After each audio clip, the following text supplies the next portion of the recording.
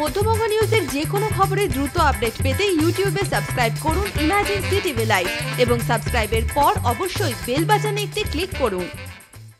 আর্তপীড়িত মানুষদের সহায়তায় এক মহতি উদ্যোগ। গৃহহীন ভবঘুরে মানুষদের মাথা গোজার আশ্রয় ভালোবাসার শুভ উদ্বোধন হলো জিয়াগঞ্জ, আজিমগঞ্জ পুরসভার উদ্যোগে। পুরকর্তা, কাউন্সিলর, বিশিষ্ট জনেদের উপস্থিতিতে এই উদ্যোগ ঘিরে স্বস্তিতে অসহায়রাও।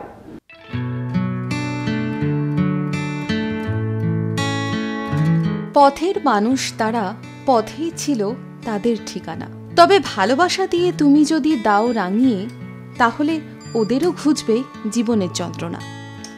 তারা যে ভব ঘুরে, বৃষ্টি হোক বা প্রখর রোদ, ঝড় কিংবা কনকনে শীতের রাতে, এক ফালি মাথা গোজার ঠাঁই নয়, তাদের মাথার ওপর ছিল এক ফালি আকাশ।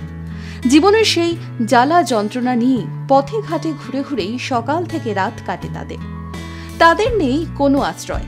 রাস্তাঘাটের পাশে কিংবা দোকানের নিচে। এভাবেই বেঁচে রয়েছেন যারা। সেসব ভবঘুরেরা এবার পেলেন এক মাথা গোজার স্থায়ী ঠিকানা।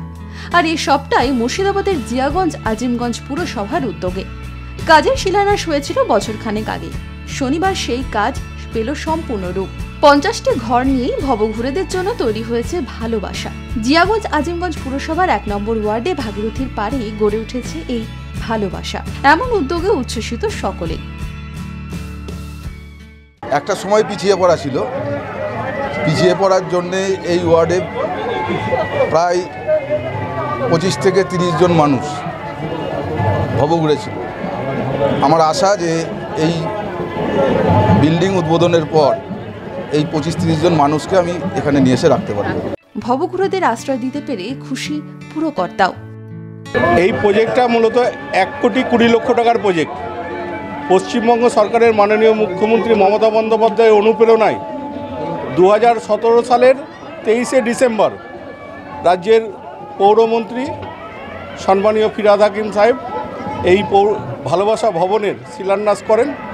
আজকে এক বছর তিন মাস এই ভবনের কাজ প্রায় সম্পূর্ণ পথে আমরা আজকে তার শুভ উদ্বোধন করলাম।